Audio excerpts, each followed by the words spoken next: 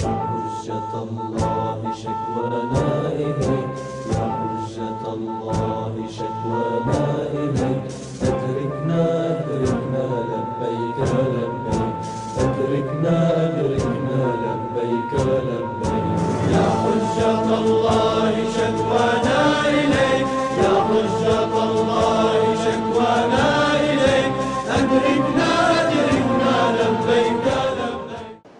بالله من الشيطان الرجيم. بسم الله الرحمن الرحيم. الحمد لله نحمده ونستعينه ونستغفره ونعوذ بالله من شرور أنفسنا وسيئات أعمالنا. من يهده الله فلا مضل له ومن يضلل فلا هادي له. ثم الصلاة والسلام على رسول الله خير خلق الله. البشير النذير والسراج المنير الطهر الطاهر العلم الظاهر المنصور المؤيد المصطفى الأمجد حبيب إله العالمين أبي القاسم محمد.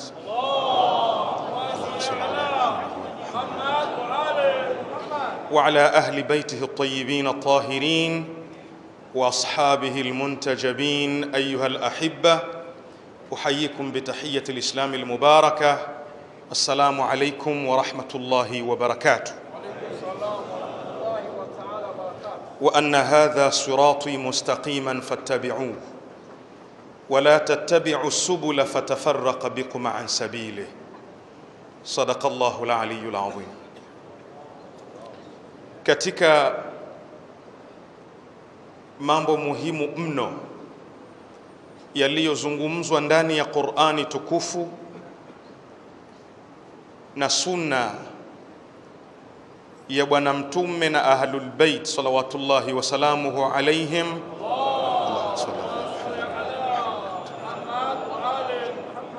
ni jambo zima la umoja wa waislamu.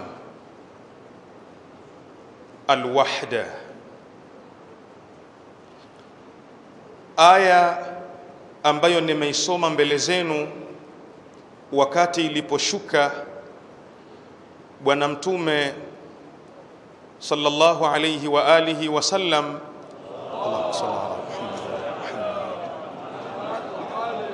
alichukua fimbo alafu akapiga mstari.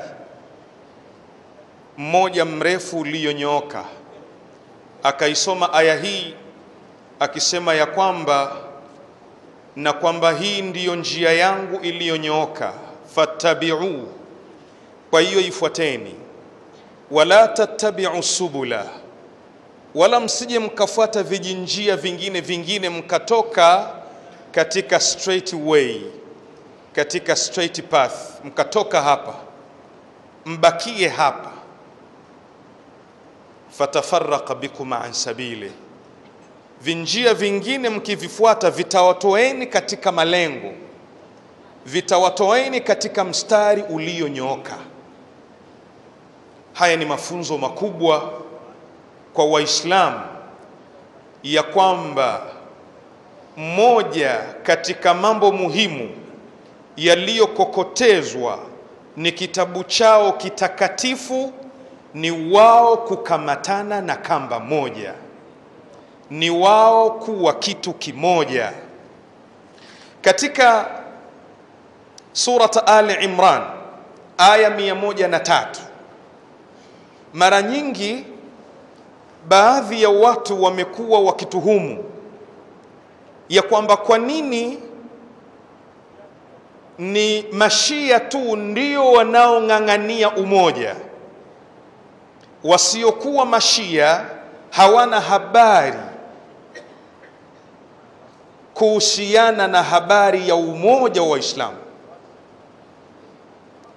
Nataka niseme kama mfuasi wa Ahlul Bait ya kwamba masala ya umoja kwa wafuasi wa Ahlul Bait kwa Shiatu Ali Muhammad ni wajib, yani si masala mustahab, si masala ya sunna, la, ni masala ni wajib الاعتقاد بالوحدة القول بالوحدة والدعوة إلى الوحدة. كتني واجب. آل عمران ميموجة ناتتمون وأنا سماجي واعتصموا بحبل الله جميعا ولا تفرقوا. واذكروا نعمة الله عليكم. إذ كنتم أعداء فألف بين قلوبكم فأصبحتم بنعمته إخوانا. Angalia hii ni amri ya mungu. Waatasimu waislamu itasimu bihablillahi jamia nyote mkamataneni na dini ya mwenyezi mungu. Wala tafarraqu, na wala msigawanyike msigombane msizozane. Alafu wadhkuru ni'mat llahi alaikum kumbukeni neema ya mungu mliokuwa nao mliokuwa nayo. Nyinyi ni waislamu. Nyinyi ni wafuasi wa ahlul bait. Nyinyi mnampenda ali ni neema. Haya nitakuja nialike hapo lakini nasema tena suratul anfal aya 46 angalia maneno ya mungu. Na ndio maana nasema kwamba masala ya addawa ila lwahda ya kulingania umoja ni wajib. Mungu anasema wa atiu llaha wa rasula wala tanazau fatafshalu watadhhaba rihukum wasbiru inna allaha maa sabirin. Mtiini mungu na mtume. Msije ikawa kazi yenu ni kugombana na kuvutana. Sio uislamu unavyoamrisha. Alafu faida ya kugombana mnajua ni nini na kuvutana. Kwanza tafshalun hamwezi kufanikiwa. Jamii ya watu wanaozozana na kugombana haiwezi kusonga mbele. Alafu watadhhaba rihukum zile nguvu zenu haziwezi kubakia. Sitasabaratika alafu mwisho muminun suratul muminun aya 52 mungu anasemaje inna hadhihi ummatukum ummatan wahida wa ana rabbukum fattaqun umma huu wa muhammad allahumma salli ala muhammad wa ali muhammad wawe ni masuni shafii maliki hambali ibadhi almaturidi alashari alqadiriya alaskariya. Wote hao mungu anasemaje? Huu ni ummatan wahida. Nyote ni watu wamoja alafu hamna waungu wawili. Ana rabbukum fattaqun. Mungu wenu ni mmoja tu. Kama mungu wenu ni mmoja kwa nini kugombana kwa nini mshindo kukaa meza moja? Sasa ziangalie hizi aya zote kwa ujumla. Zinawafundisha waislamu ya kwamba umma huu ukitaka uhafidhike ukitaka utulie ukitaka uwe katika amani lazima uwe na wahda uwe na umoja. Umma huu ukitaka uharibikiwe uwe na tabia ya kugombana katika mambo madogo madogo. Nimewahi kumwambia mtu mmoja ya kwamba hebu tufaradhishe ndugu zangu mashia wao kunyoa ndevu kwa wembe aktharul maraji. Maraji wengi wanasema ni haramu, lazima ndevu zinyolewe kwa kwa kupunguzwa kidogo lakini zibakie athari iwe mtu akikuona anaona ndevu zipo. Sawa sawa. Ndugu zetu ahlu sunna wanasema la ndevu ni sunna. Kuna dini mpya iliyodhihiri hiyo la inasema ndevu bwana ni lazima. Na mtakumbuka wakati wa serikali ya Taliban Afghanistan walifungwa na kutandikwa watu ambao hawana ndevu lakini ala kulli hal tuseme ndevu ni lazima au ni sunna au ni jambo la dini. Ebu tushikeni mabango dunia nzima tuandamane kila watu wawe na ndevu nyingi. Hebu naomba niulize tutakuwa tumeuzidishia kitu gani uislamu? Yaani leo dunia nzima tuwe na ndevu ehe alafu uislamu unapata kitu gani sasa mambo haya ndiyo mungu anasema mnapozozana katika vitu kama hivi fatafshalu mnafeli kwa nini tusizozane ya kuwa na university katika kila mkoa miongoni mwa mikoa isiyopungua 28 ya Tanzania. Kwa nini tusizozane katika hilo? Kwa nini tusizozane ya kwamba tuhakikishe tunao mainjinia, tunao maprofesa, tunao madokta, madoctors katika kila mkoa wengi tu wamebeba jina la Ali, Muhammad, Fatima, Aisha, Uthman. Kwani tusizozane katika hayo? Dunia nzima ikizozana leo hii kwamba katika tashahud tunyooshe kidole ashhadu an la ilaha illa Allah, alafu baada ya kunyoosha nuharikuhu tukitikise juu chini au tukipeleke upande. Ehe dunia nzima imekubaliana tukisema ashhadu an la ilaha illa Allah tutoe kidole. Ehe alafu tumeujalizia kitu gani something new uislamu kwa nini tusigombane kwamba hatuna mahospitali makubwa ya waislamu ambayo mama zetu wanapojifungua mabinti wa Kiislamu ndio wakunga wao. Kwa hivyo mivutano, tafshalun, mtafeli, watadhhaba rihukum. Ukiingia katika sunna na riwaya za ahlul bait na mwenyewe sayyidul kaunain habibul anbiya khatamun nabiyyin Muhammadun sallallahu alayhi wa alihi wa sallam.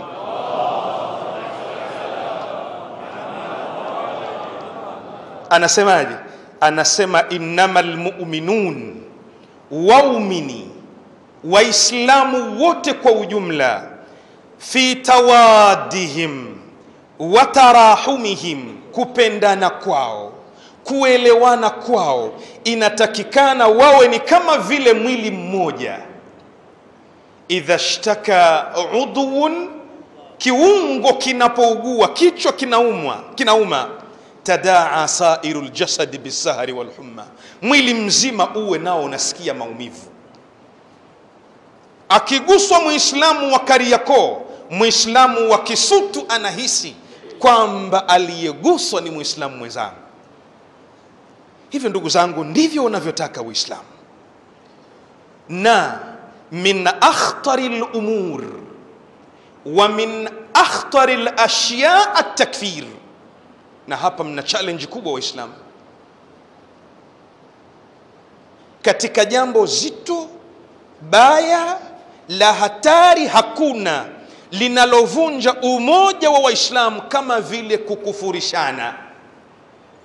Huyu ni kafiri, huyu ni mushrik huyu ni mtu wa bid'a, huyu hafai. Ni hatari mno lugha kama hizi katika jamii, na ni lugha lazima zipigwe vita, kwa sababu ni lugha zitakazoipelekea jamii ya Waislamu mahala pabaya. Warabu wana maneno yao, wanasemaje?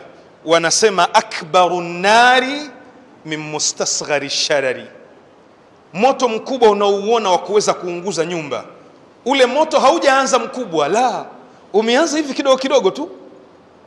Huyu kafiri, huyu mtu wa bid'a, huyu mushrik, huyu kadha. Hatari yake nini? Ni hatari ya kupita kiasi, ni hatari ya kupita kiasi. محمد بن عبد الله صلى الله عليه وآله وسلم. كتك بحار الأنوار العلامة المجلسي رحمه الله جزو يستن تسعة نسمه في متومة إذا قال الرجل لأخيه يا كافر فهو كقتله لا إله إلا الله إذا قال الرجل لأخيه يا كافر mtu anapomwambia ndugu yake anapomuita ndugu yake wewe ni kafiri ni sawa sawa na kumuua. Ni sawa sawa na kumuua. Na ndugu zetu ahlusunna wamepokea riwaya kwamba unapomwambia mwenzako wewe ni kafiri basi kafiri ni wewe. Na ndugu zangu kwa kweli unapoisoma tarikhi na unaposoma uislamu sahihi utapata kwamba watu wakubwa wote walikuwa ni walinganiaji wa wahda wa umoja na mlinganiaji wa kwanza wa umoja alikuwa ni mtume mwenyewe Muhammad sallallahu alaihi wa alihi wasallam.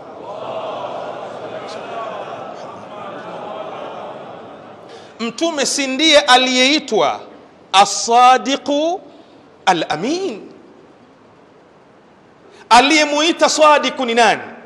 Aliyemuita mtume sadiq alamin hakuwa Muislamu, walikuwa ni makafiri wanaoabudu Lata na uza na Manata ndio waliomuita Muhammad Aswadik, mkweli alamin mwaminifu.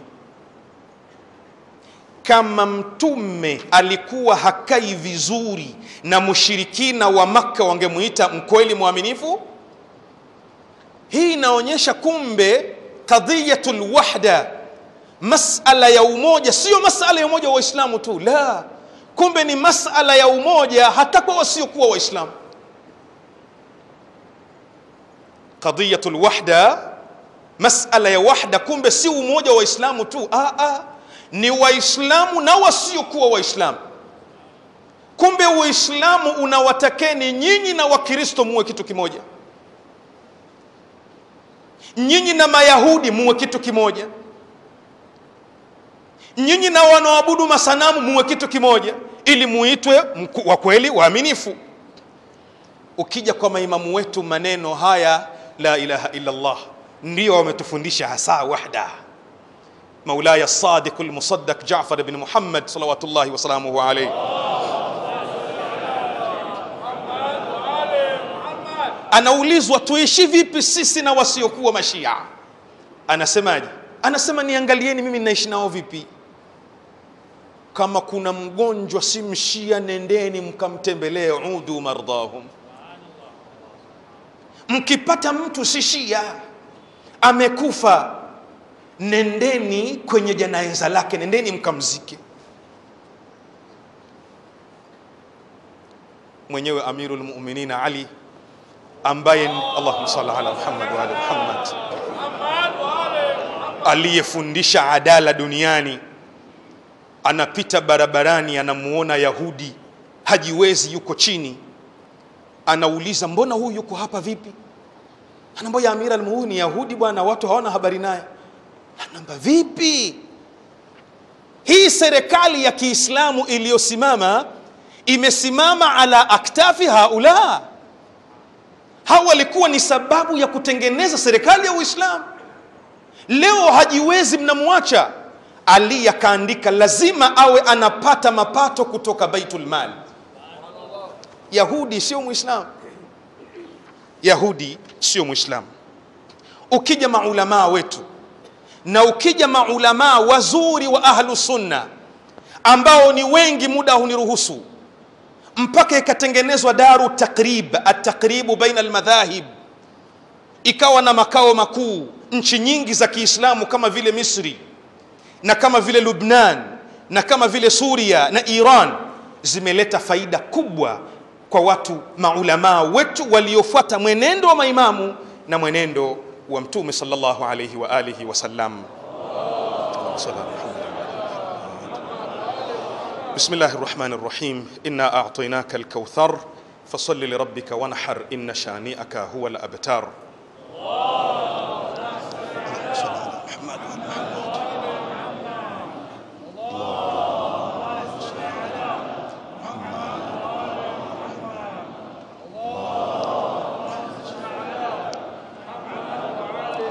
الحمد لله رب العالمين والصلاة والسلام على رسول الله محمد وآل بيته الطيبين الطاهرين.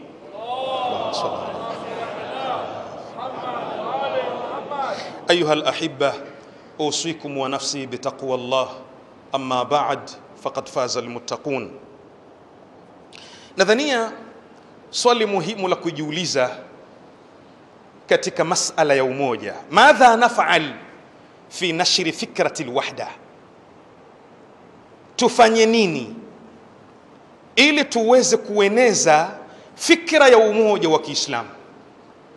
Nadhani ni swali zito na swali muhimu.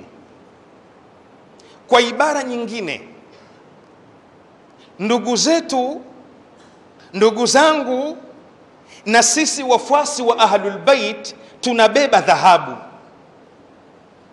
Tunabeba kitu chenye thamani mno tunabeba uislamu wenye mtezamo wa hali ya juu mno. Tutafanyaje fanyaje mpaka fikra hizi za kukaa pamoja za kuelewana kuweza kuzieneza kwa watu wote? Kwa sababu inawezekana unacho kitu kizuri chenye thamani lakini kwa sababu ya machafuzi ya mtu mwingine kikaonekana kitu chako hakina thamani na hiyo ni hatari. Tutafanyaje fanyaje? Kwa haraka haraka nasema hivi. Kwa haraka haraka. Kubwa zaidi. Fikra tunazozibeba hizi. Fikra za ahlulbeit fikra ambazo akielezwa mtu kwa lugha nyepesi anaelewa shekh gharibu lghuraba ali ibn musa ridha salawatullahi wasalamuhu alaihi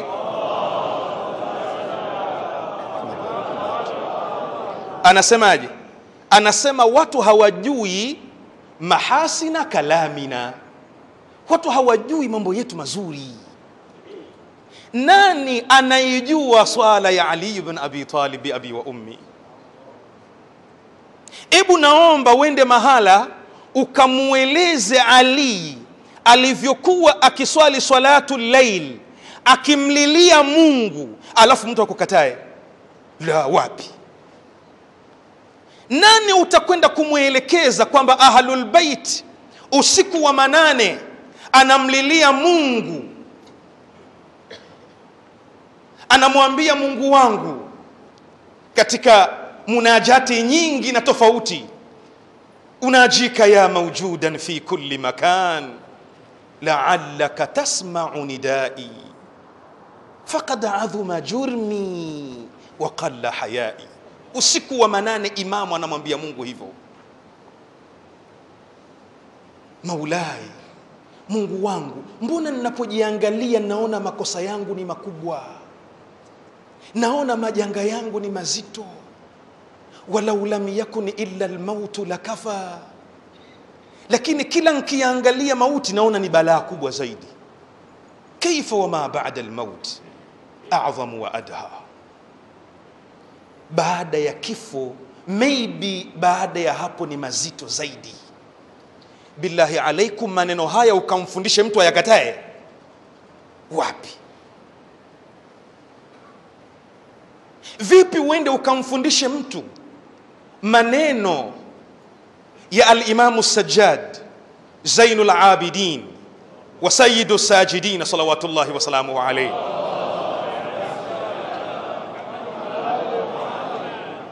wakati munajati wake mwenyewe kwenye mwezi wa ramadhan ameshamaliza kuswali sasa anamsemesha mungu. Maana ndo maana munajat anamsemesha mungu. Wamali la abki kwa nini ya rabbi nisilie? Abki lidhiqi lahdi nalia kinachonliza ya rabbi siku nikifa nawekwa mahala kwenye mwanandani mahala pepesi mno panyonge mno abki lisuali munkarin wa nakirin iyai. Kinachonliza yuko munkar na nakiri atakuja kuniuliza ya rabbi sijui ntajibu sawasawa au ntakosea taalimati hizi zikifunzwa mahala hakuna watu watazikataa. Watu wangejua haya latabauna wangetufuata. Sasa jambo la kwanza kwa hatari kubwa inayotukabili ni kutawanya maduati ni kutawanya mubalighin ni kuwatawanya watu kila mkoa. Alhamdulillah wako watu waliofanya kazi nzuri ya kutangaza uislamu huu sahihi lakini bado kuna mikoa hatuja kanyaga kabisa kuwaeleza watu uislamu huu unaolingania kupendana. Hebu tuwatawanyeni watu kila mkoa. Tumpeleke mtu sumbawanga akaelezee uislamu huu. Tumpeleke mtu mara. Tuwatawanye. Wakaeleze uislamu huu.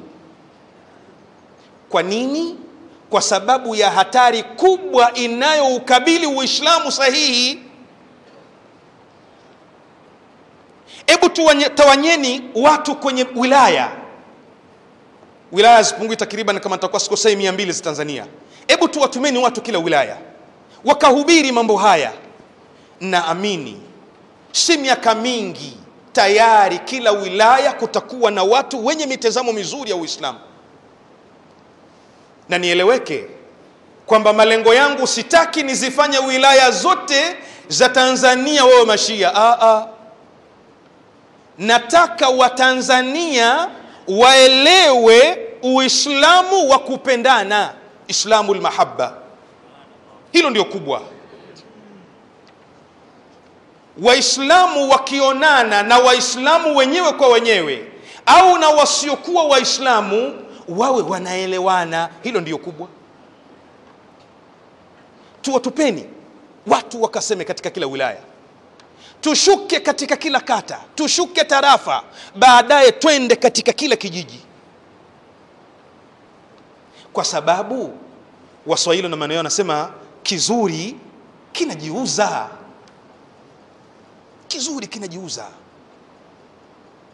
Uende ukamweleze mtu kwamba aliyu bnu musa ridha alikuwa anatoka nyumbani kwake anakwenda kumtembelea mgonjwa mkristo.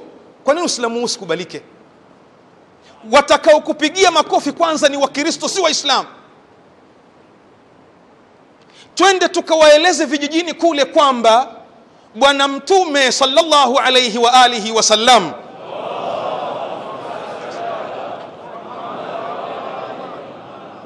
kulikuwa na yahudi anaweka miba kwenye njia yake anayopita.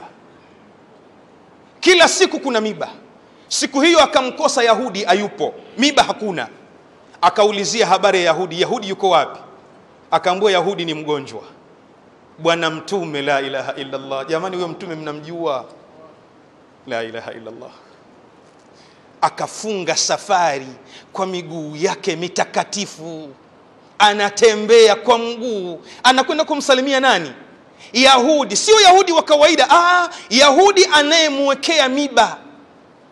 Anakwenda kumtembelea. Yahudi anafika anamwambia muhammad umekuja kuniona? Mi sina kuwekea miba kila siku. Ambia ndio nimekuja kukuona. Sasa aibu ya yahudi ilikuwa nini? Ni kunyanyua mikono na kupiga shahada. Ashhadu an la ilaha illa allah wa ashhadu anna muhammadan rasulullah.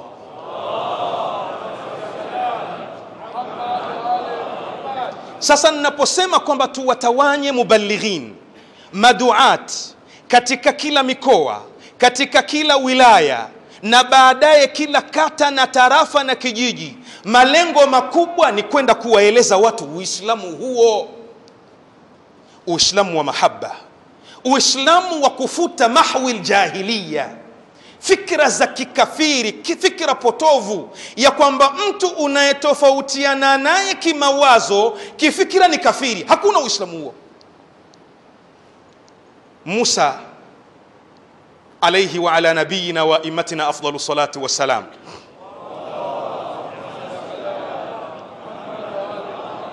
anatumwa na mungu kwenda kwa firauna anaambiwaje?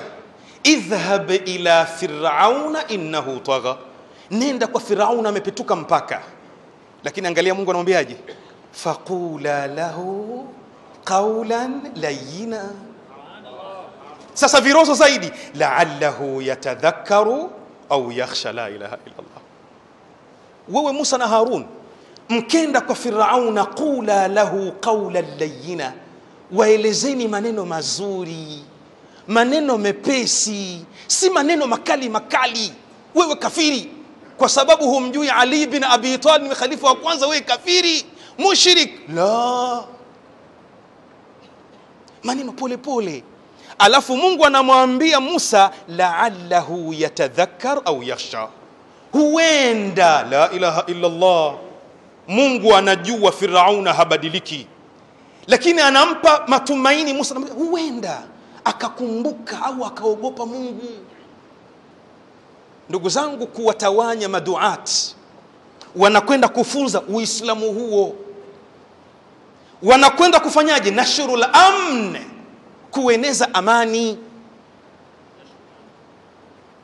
Kueneza amani. Mara kwa mara nimekuwa nikisema si hapa wala si mahala pengine kwamba kuingia kwa waislamu misikitini mwao ni kwa sababu ya amani ya nchi. Kuingia wakristo kwenye makanisa yao na kumwabudu mungu anayemwamini ni kwa sababu ya amani tuliyonayo mahindos kuingia katika nyumba zao za ibada na kumwabudu mungu anayemwamini ni kwa sababu ya amani tuliyokuwa nayo. Bali tunasema zaidi ya hivyo kwamba wale ndugu zangu waislamu wanaolalamika kila mtu ana malalamiko yake. Wakristo wana malalamiko yao na waislamu wana malalamiko yao. Lakini billahi alaikum hivi waislamu kupata wanayoyataka katika nchi hii ni kwa amani au ni kwa vita? Ni kwa amani? Ni kwa maelewano? Ni kwa lugha nzuri na wakristo nao kupata wanachokitaka katika nchi hii ni kwa amani ni kwa maelewano. Nazungumza na watu wasomi hapa. Nyote mnaangalia vyombo vya habari. Watu wamekaa wanasema tumeamua tukae kwa amani. Eh? tumeamua tukae kwa amani ndugu zangu wa, wa gaza na haraka ya fathi. Tumeamua tukae kwa amani. Anakuja mtu anasema la nyinyi nyote mtakuwa ni maadui. Nini maana nyote mtakuwa maadui? Ni kwamba hapakaliki tena. Mwisho na jambo muhimu tutakapowatawanya wasemaji wa uislamu huu tunaoutamka tutakuwa tumetengeneza kitu kimoja muhimu sana alwahdatu lwataniya hubu lwatan min aliman mtu kupenda nchi yake si jambo la kulaumiwa bali ni imani mtu kupenda nchi yako. Kueneza uislamu huu katika mikoa yote ya tanzania wilaya zote za tanzania kata zote za tanzania tarafa zote za tanzania vijiji vyote vya tanzania tumeisaidia serikali kwamba tumetengeneza jamii inayopendana isiwe mashia jamii hiyo lakini iwe ni jamii inayopendana ni jambo kubwa mbele za mwenyezi mungu subhanahu wa taala mungu aibariki tanzania mungu aibariki afrika na awabariki viongozi wetu na hususan rais wa serikali yetu audhu billahi min alshaitani rajim bismillahi rrahmani rrahim إن الله وملائكته يصلون على النبي يا أيها الذين آمنوا صلوا عليه وسلموا تسليما